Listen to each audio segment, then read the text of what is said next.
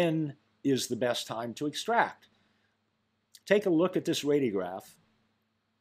This is a four-year-old small breed dog. This is the right mandible. And you can see that there's some significant and varying degrees of bone loss adjacent to those teeth. So the question again, when uh, do we extract or when do we treat? So looking at this radiograph, if you look at that last molar on the far left, that one has no bone surrounding those roots. That is definitely an extraction. That's not a particularly critical tooth by any means, so extracting that is definitely in the best interest of this patient. On the other hand, we've got a decision to make on that first molar. You see that we've got bone loss in the furcation and we've got bone loss extending to the bone between the fourth premolar and that first molar. So if you are presented with this next week, you have to take into consideration a couple of things. Number one is if you cannot alter that and prevent the progression of it, then that's going to be an extraction. So that tooth on the left falls into that category. You can't alter that. You're not going to be able to save that tooth. It's too far gone. But this one, there's a possibility that you can. And the way that we would do that would be to go in and open up an envelope flap there, expose that bone, take our periodontal curette and scrape all of the granulation tissue out of those defects. And if you open that tissue up, anytime you see a decrease in density in the bone like that, either in that furcation between those roots or between those teeth in that defect there, there is going to be granulation tissue in that defect.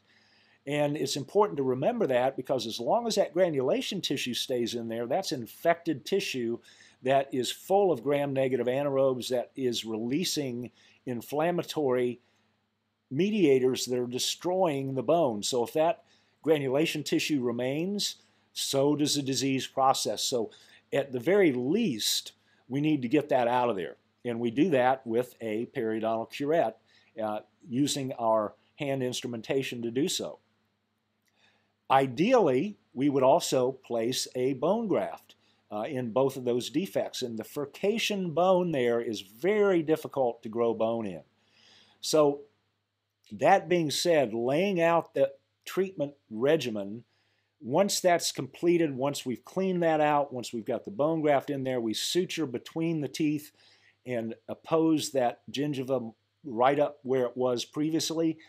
And then the most important thing before we even think about doing that is we have to get the owner's commitment to bringing that patient back every three to six months, or everything that we've just done is not going to work. It's going to break down and it will progress if the owner can't get in in that in that regimen. So if they can't do that for the rest of this patient's life, that is an extraction. So that's kind of how we have to think about that in relation to the defects that we see.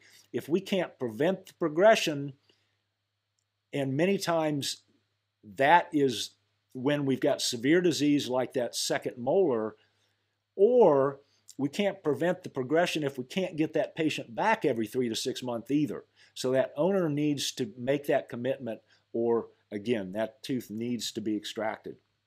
So this is an actual four month or three month post-op on that patient. So you can see we did get some really nice bone growth in the furcation. We've got some really nice bone growth in that defect. Uh, we cannot grow bone on top of bone or toward the crown uh, in any defects. So that is about as good as it gets right there, guys. So that's a very pleasing outcome in this patient.